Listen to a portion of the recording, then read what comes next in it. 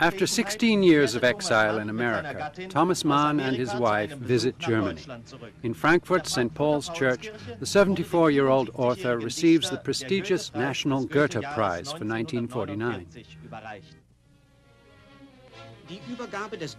The ceremony is followed by a day of festivities for the city and a standing ovation for the famous author. The German free youth sing, He who helps us save our city is our good comrade.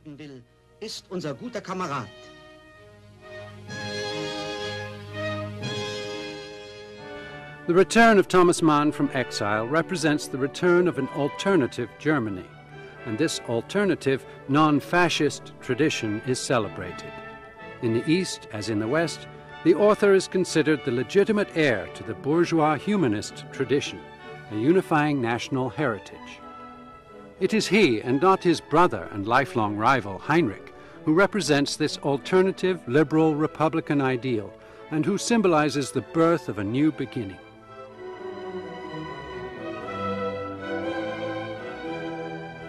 He is laden with triumph upon his departure, and the tragedy that has long shadowed the author's personal life is hardly perceived by the public. But while lecturing in Sweden, Thomas Mann receives a message that his oldest son, Klaus, has committed suicide at the age of 42 in Cannes.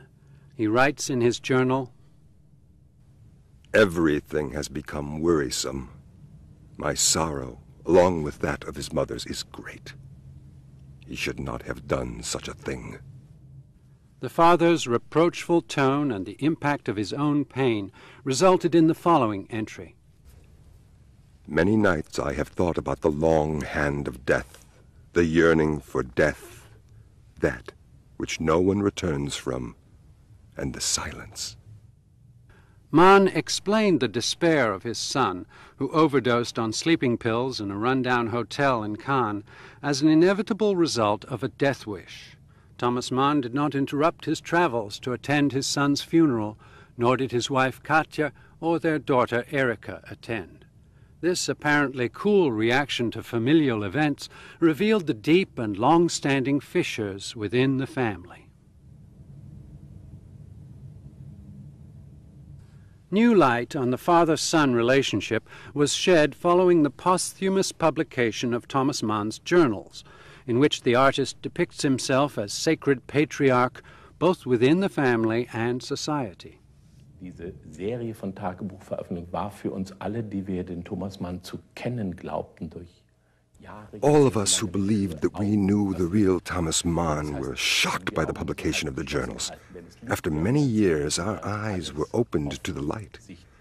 This meant a new examination of his fascination with young men, with the forbidden, with the threatening and the destructive, and his simultaneous love for women.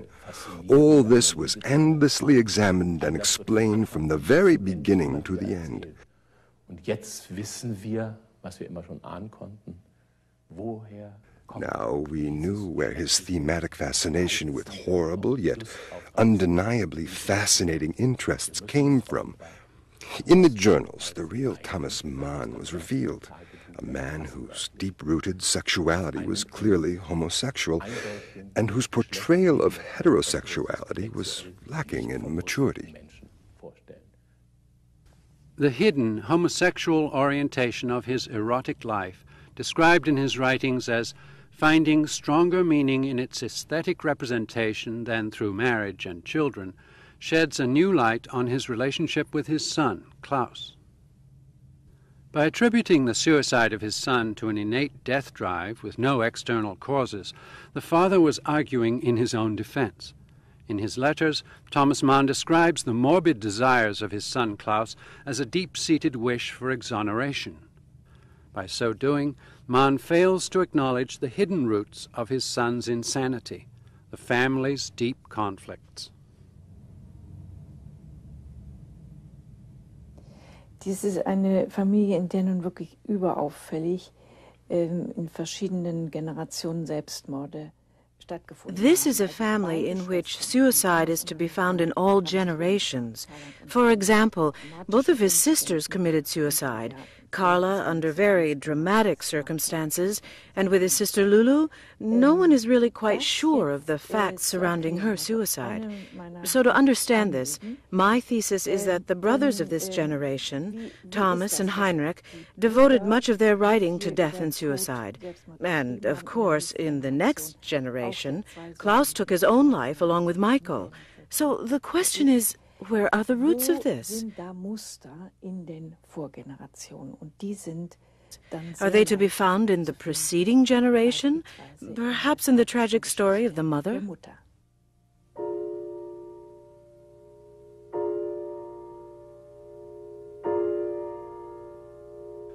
Does the story begin here, in a truly idyllic town with narrow streets and gray gabled houses? In his work, Turning Point, Klaus portrays the Manns and their hometown.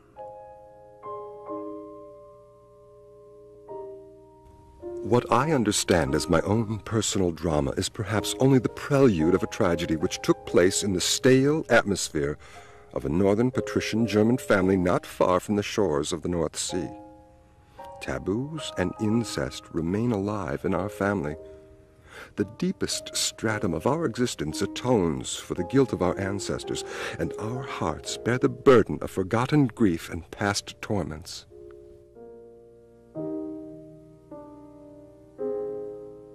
This is the Mann family house on Mengestrasse. Thomas Mann was to elevate it to symbolize the bourgeois family in his novel Buddenbrooks.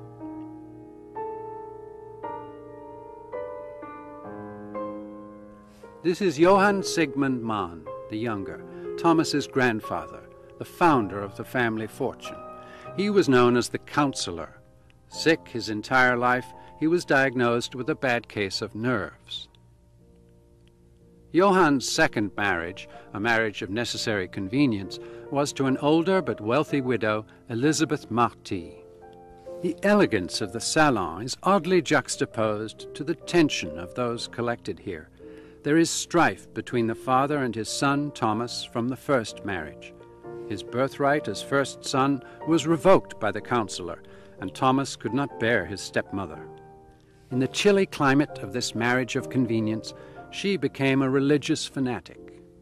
Johann detested his son, but nevertheless decided that Thomas should follow in his footsteps in the family business. At the age of 23, Thomas accepted this difficult inheritance. As the new provider for the family, he would be besieged from all sides. Next to Thomas is his stepsister, Elizabeth, the model for Tony in the novel Buddenbrooks. With her two ignominious marriages, she would cost the family much money. Last but not least, the brother Friedel with his wife. He served as the prototype for Christian in the novel, including his costly visits to the local bordello.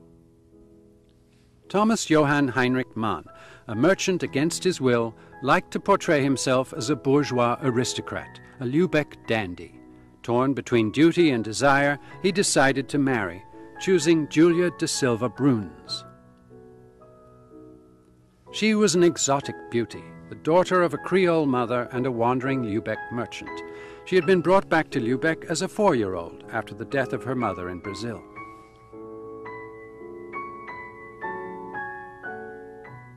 Sie und ihre Schwester kamen in eine Pension, geleitet von der bucklichten äh, Therese Bousset im Roman. She and her sister attended a boarding school at a convent. Throughout her childhood and up to her confirmation, she remained at this school. Äh, konfirmiert wird, ist in dieser, verlebt sie in dieser Pension mit dieser Frau. Nur sonntags bei der Großmutter sieht sie ihre Brüder wieder. She only saw her brother when she visited her grandmother on Sundays.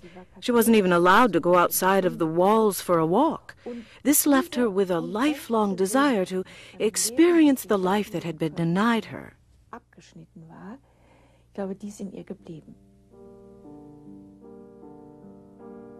Julia had great expectations as a newly married woman whose husband installed her in a modern new house. Her hopes, however, were quickly dispelled the old town, known for its provincialism, narrow patriarchal structure, and strict moral code, collided with Julia's innate hunger for life.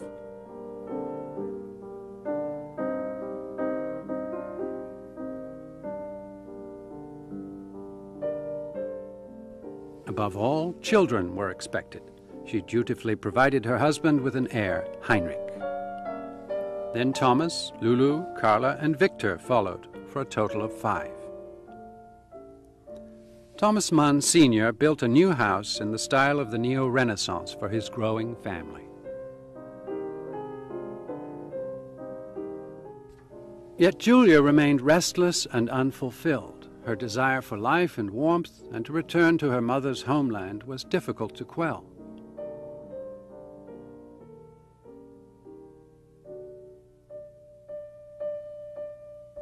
She suffered from sickness and the double betrayal of her father. He had disinherited his daughter and then had refused to allow her to marry her first true love, the man before Thomas Mann Sr. All that remained for this unwilling wife and mother, who as a young girl had wanted to go into the theatre, were the music and dances of the salon. This facade of society replaced her unrealized dreams and also fulfilled her secret desires.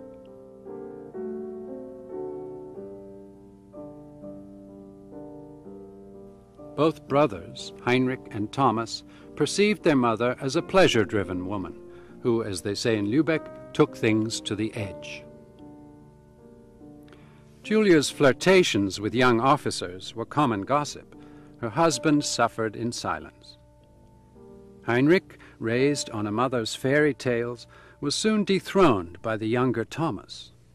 Als Thomas geboren war, hatte er die Mutter. Sie liebte ihn. Er war dunkelhaarig, Heinrich war, war blond. Sie hat was wiedergefunden, was sie an ihren Brüdern verloren hatte. Ich glaube, Until Thomas was born, Heinrich had her all to himself. But Heinrich was light while Thomas was dark. She had found something special in Thomas at the expense of the brother. I believe that Thomas represented what she hadn't found in Lübeck, something that was missing, as she admitted herself. Thomas er ist der Liebling der Mutter. Er kann, er bekommt das, was, was Thomas soon got whatever he asked for, while Heinrich lived in a world in which his mother's favor had been unexplainably revoked.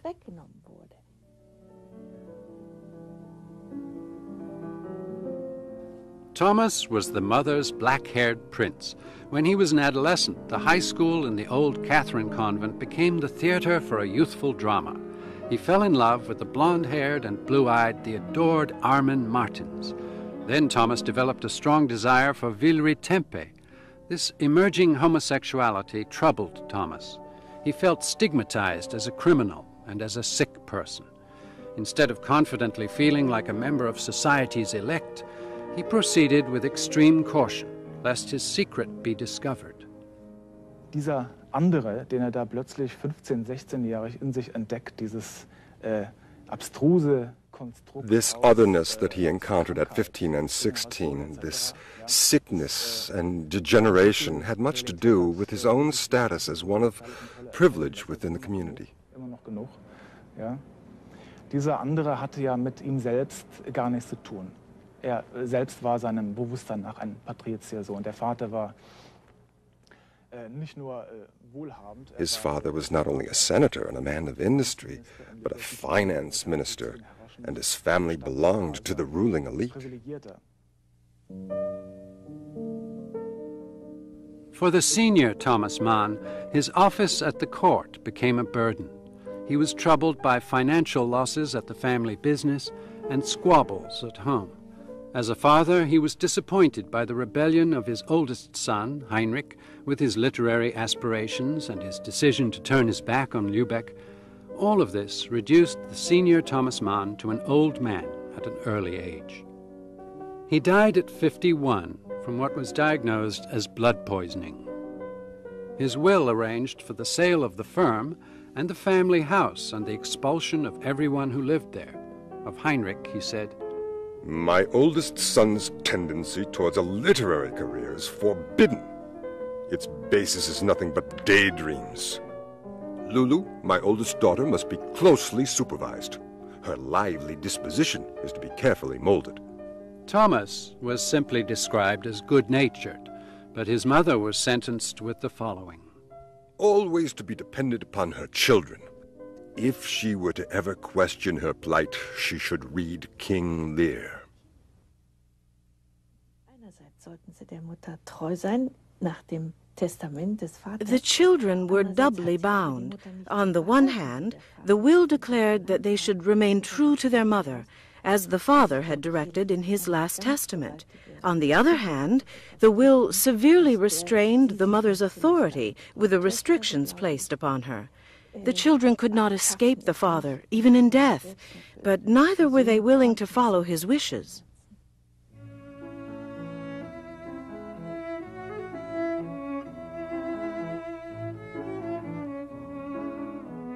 Julia left for Munich. Munich, at the turn of the century, was not only a southern refuge for her, but the center of the arts, the theater, and the bohemian life in general.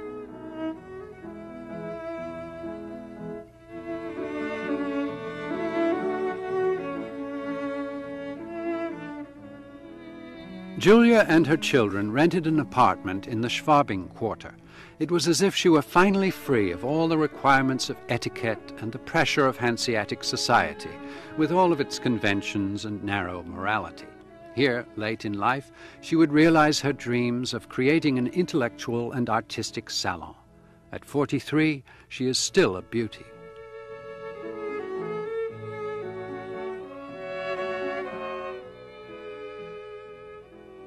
She did not fulfill the conditions of her husband's last testament. The children were not carefully supervised. On the contrary, Carla, whom the father considered a quiet child, already had an admirer at 14 and began a career as an actress. Lulu's fiance appeared to be just as much in love with the mother as with the daughter. Both brothers went to Italy. For Thomas, oddly enough, it was a particularly ascetic experience, as revealed in the following quote To eradicate a bad desire, to free myself of sexuality, keep the dog on a short leash. The stay in Rome and Palestrina made both brothers into writers. Heinrich wrote his first novel, In the Family. Thomas started what would later become Buddenbrooks. Back in Munich, both lead a bohemian life for the next 10 years.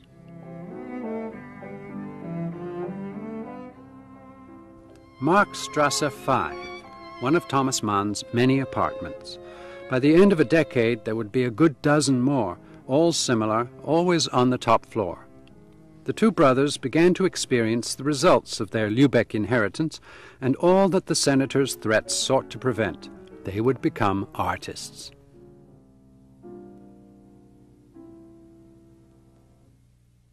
The life of the artist was less of a problem for Heinrich than for his brother. Throughout his life, Heinrich would never marry for social station. He was free to live the bohemian life. Thomas, on the other hand, had come to experience the opposition between the bourgeois life and that of the artist, which he was to portray so successfully in his novels. He knew that it concealed a very dangerous sexual abyss, which had not yet been articulated in his art. His first attraction was Paul Ehrenberg, a painter. He was both an artist and a blond, blue eyed ladies' man.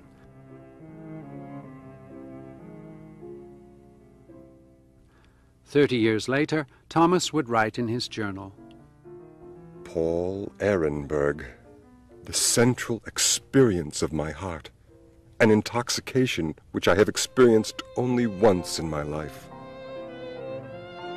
Paul Ehrenberg remained unattainable, and Thomas Mann tried to get over the shameful desire through writing. The recognition of his true nature was resolved many years later with Gustav Aschenbach as the symbol of desire. I love you. What took so long? Numbness, isolation, iron, spirit, and art. Here is my heart, and here is my hand. I love you, my God, I love you. Das ist ein aufregender Blick in die Werkstatt Thomas Mann. Und Werkstatt heißt zugleich auch Lebenswerkstatt. This is an exciting glimpse of Thomas Mann. his work and his life become truly indistinguishable, he lived in a mystical, homoerotic world, and what passed between him and Ehrenberg would be immediately transposed in the morning into a literary motif.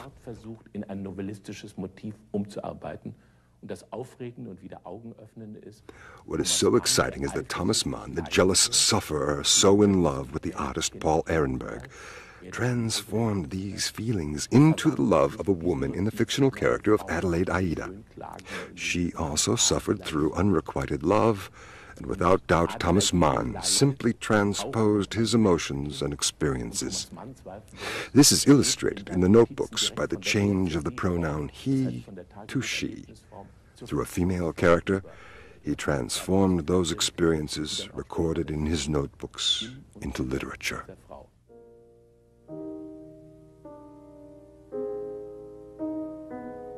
Thomas marked the close of the Paul Ehrenberg chapter by moving from the bohemian life in Schwabing to a large residence at Königsplatz. In the old German High Renaissance Pringsheim Palace, Thomas Mann carved out the great affair of his life a marriage to the daughter of the house. Success and fame as the author of Buddenbrooks had opened the door to the salon of one of the richest men in Munich, Alfred Pringsheim. The son of a Jewish mine and railroad magnate, Pringsheim was a professor of mathematics, a Wagner fan, and owner of a renowned art collection. Both Pringsheim's current mistress, and of course his wife, finally resigned themselves to the engagement. At the age of 20, Katja Pringsheim married Thomas Mann. The prince had found a princess who very quickly provided two children, one after the other, Erika and Klaus. Hedwig Pringsheim, Katja's mother, wrote, Katja remains apparently satisfied with her two children, but her husband is a real dandy who does not tolerate much. The country house, with the initials THM over the entrance, was built by Thomas Mann in 1908. It was the first of many such villas he would own and was home to the happiest period of his life. His artwork is inspired by an apparent dichotomy how to embrace the bourgeois life and to still be an artist. With the success of Buddenbrooks behind him, before him lay a future as Germany's eminent national author. Katja äh, Pringsheim bedeutete für den jungen Thomas Mann das erlaubte Glück. Äh, Katja Pringsheim brought happiness to Thomas Mann, not the physical happiness he desired with Armin Martens or Paul Ehrenberg. She provided him with bourgeois acceptance that would allow him to follow in Goethe's footsteps as, as both an artist and as a representative of the bourgeoisie. Thus, it was necessary to disguise what would have been an obstacle to his success his attraction to men. Without doubt, he needed Katja. To a certain extent, she had rescued him from his Paul Ehrenberg period. In Tölz, he writes Death in Venice. In it, he is able to experience an alternative life through his literary alter ego, Gustav Aschenbach, an experience that had consequences and which the devil articulates in Dr. Faustus You will never love.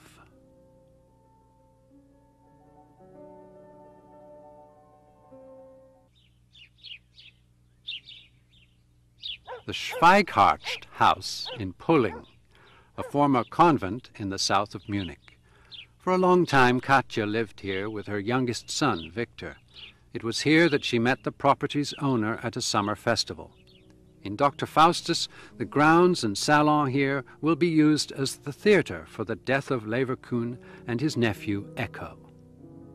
It is the same place where Thomas's sister Carla took her life after a quarrel with her beloved in 1910. He would not redeem his promise to marry her and broke off their engagement. She ran to her room, locked herself in, and swallowed poison. Carla's act of despair reverberated like an echo all the way back to the childhood of her mother. Julia, in her youth, must have heard about a woman who goes into the theater and who is lost, a topos that appears often in the work of Brother Heinrich, eben nicht ähm, über die Provinzschauspielerin in, hinauskam, Carla found it difficult to return to a life of respectability after her time in the theater, where she had had several ähm, affairs. But when her engagement was broken off, I believe that Heinrich also gave up on her. She was no longer the innocent and proud young girl whom he revered, and I believe that she decided, at that point, that her life was ruined. I don't want this to be taken literally, but the theme did exist for both her and Heinrich, for him in his writing, and for her in life, and I believe that there is a connection. Many years later, Thomas's other sister, Lulu, also took her life. Her attempt to maintain a facade through the meticulous fulfillment of her duties as wife and mother with a man she didn't love failed. Heinrich writes about Lulu To appear how one should, that is what destroyed her.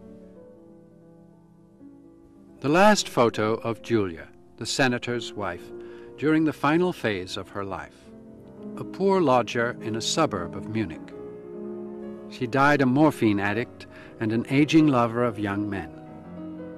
In her final years, Julia's insatiable desire for life resulted in a sickly restlessness. The house had long since been sold. Around her deathbed in Wessling, her sons surrounded her. Munich in the 20s.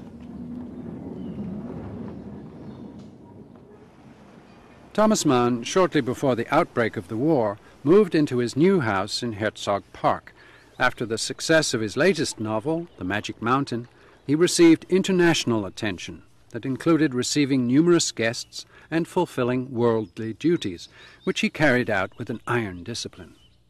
The youngest son, Michael, remembers him moving on silent wings, this was manifested in the daily life of the Mann residents through coolness, distance, and an everyday formality that bordered on the ceremonial. Another son, Golo, writes in his memoirs The authority of the father was enormous. We would always be quiet. In the morning, while he was working, in the afternoons, while he was reading, and then napping, and then in the evenings because he was busy once again. A man of great instability, he barricaded himself within a silent life of letters. That which moved him most deeply he could only divulge to his journals or transform into art. He precariously entrenched himself behind the facade of a conventional bourgeois household. He wrote in his journal A life that conceals a secret. And toward Katja he felt my gratitude for your kindness regarding our sexual relationship and my sexual problems is deep and genuine.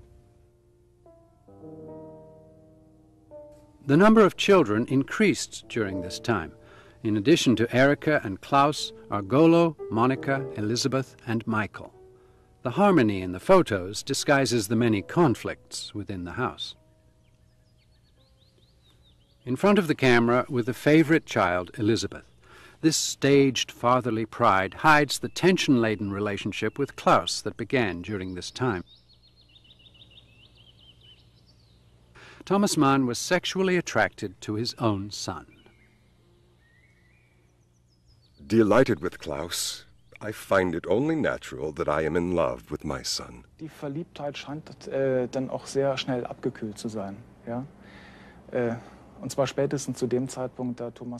This attraction appeared to be short lived. In any case, it was much later that Thomas Mann realized that his son had developed into a homosexual.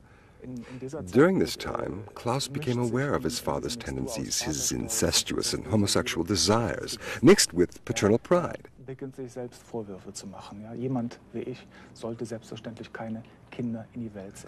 Imagine somebody such as that, myself, for example, actually having children. This shouldn't happen. One could say that the homosexual son was simply projecting the homosexual identity of his father, mixed with his own self hatred and contempt for him.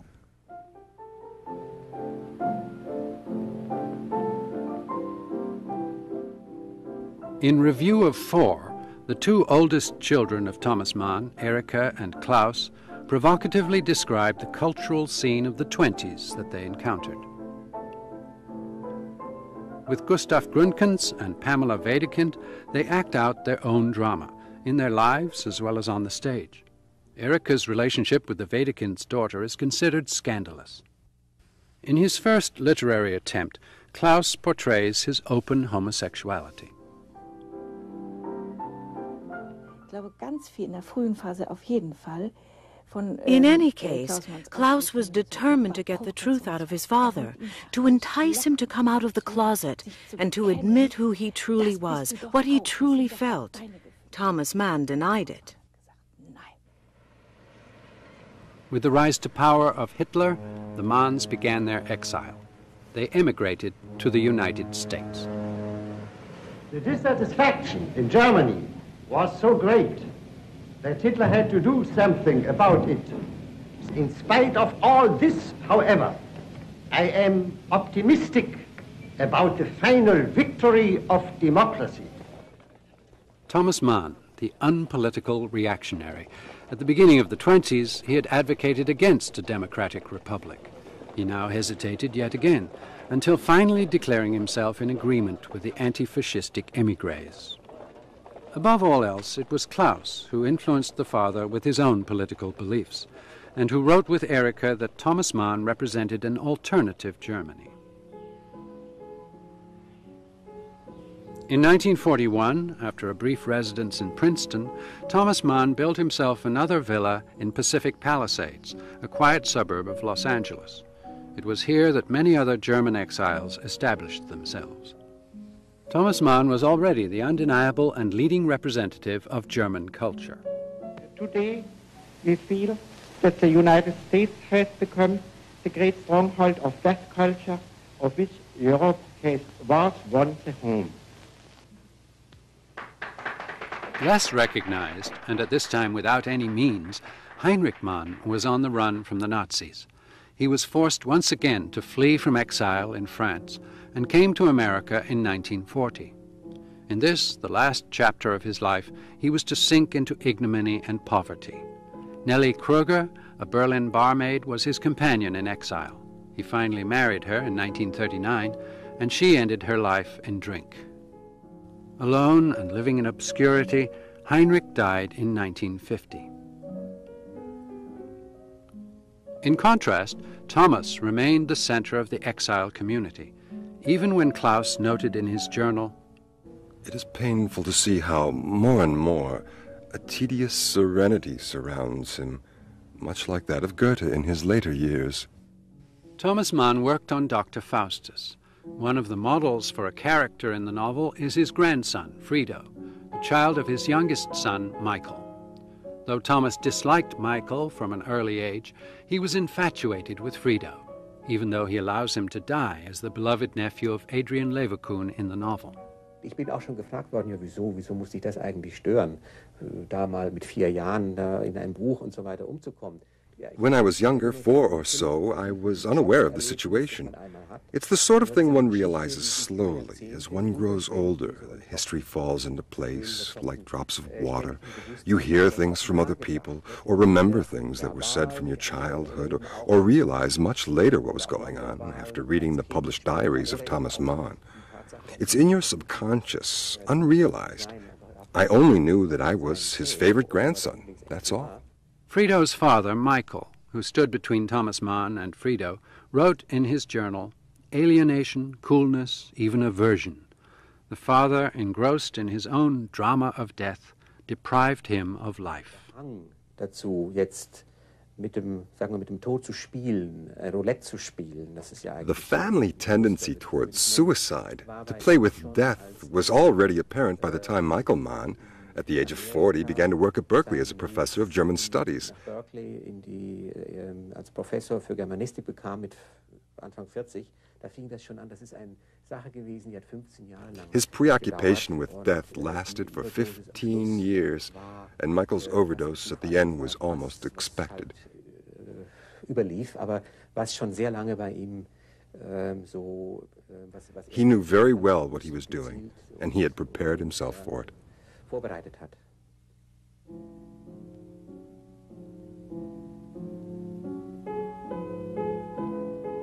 For Klaus, joining the army was the last chance to give his life meaning.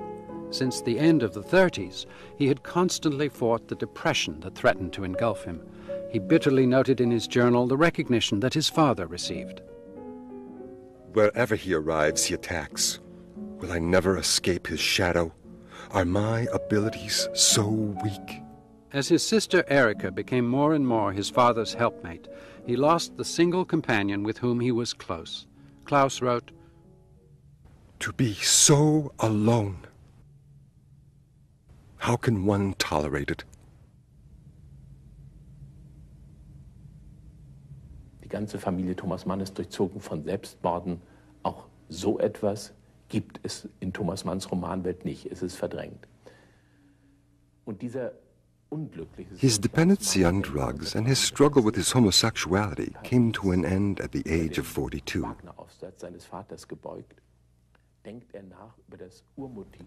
there are frequent deaths in the Mann novels, but no suicides, even though suicide runs throughout the Mann family. And Klaus Mann, who was very unhappy in 1933, thought throughout the night in Paris about this central theme in his father's writings. ist das Grundmotiv meines Vaters und seines Lebens und seines Schreibens. He conceived of this literary theme death's seduction, but never the fulfillment, as the basic motif of his father's life and work. The romanticization of death, of approaching the precipice but going no further. Denn ich habe allem nachgegeben. Der Lockung zum Tod, der Lockung zum Rausch und der Lockung zu den schönen jungen Knaben, zur Päderastie. This was also reflected in the pederastic elements in Thomas Mann's life, not just in his literature. Das heißt, Klaus Mann begreift sich als ein Sohn, der dem Vater der Vaterwelt den Gesetz The entire night Klaus was tempted by death, by revenge. Motiv war produktiver für ein ganzes Schreibleben. Natürlich das von Thomas. The son realized the horror of his father and what he represented, Das Spiel mit der Heimsuchung, aber and thus he acted. Selbst im Leben riskiert zu haben. In Zurich, every day one may meet the famous author Thomas Mann and his wife. He has returned to Europe, his homeland, to celebrate his 75th birthday. He does not allow either his fan mail or his success to hinder him from working on his latest novel. Als ich da an dem Mittwoch ins Kino gang, Äh, ging, sah ich in der Wochenschau einen großen Bericht. When I went to the theater on Wednesday, I saw in the weekly news program that Thomas Mann was in Zurich to celebrate his 75th birthday. Äh, war meine Arbeit immer äh, Kuchen zu servieren im On the following Sunday, I was at work at the Grand Hotel where I, I served cake. When I recognized Mr. Mann, I greeted him, and he ordered a pastry.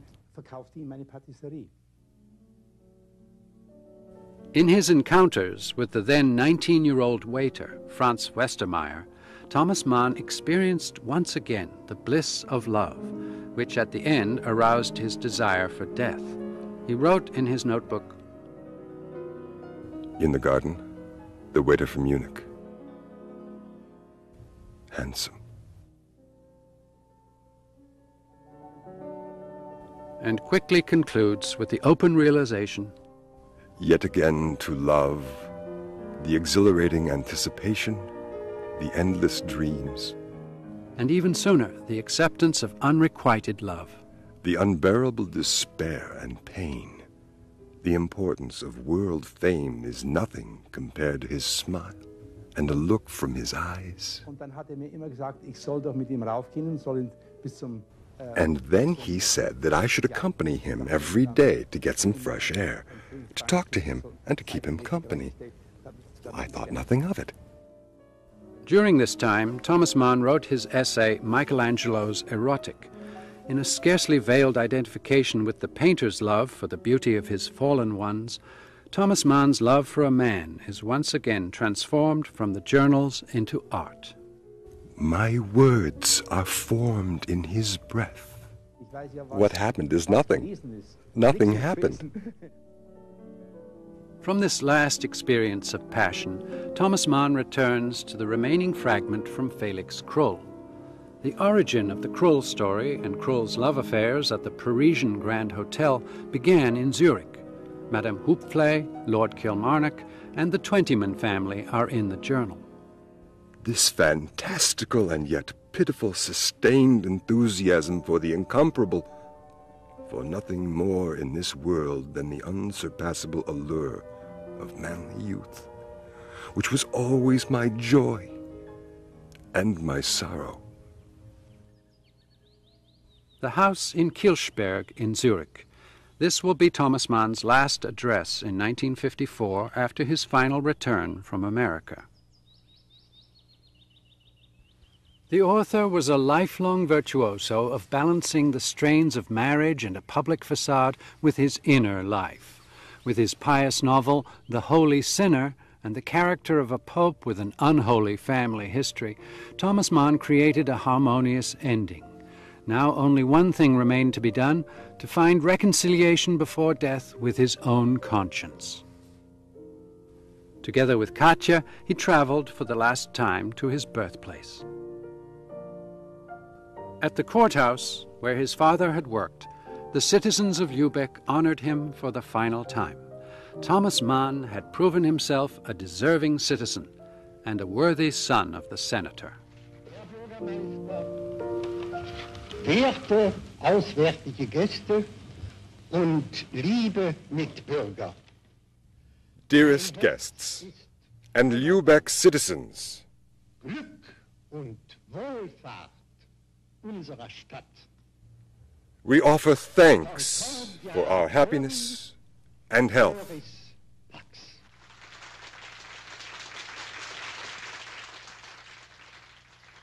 Three months later, Thomas Mann died.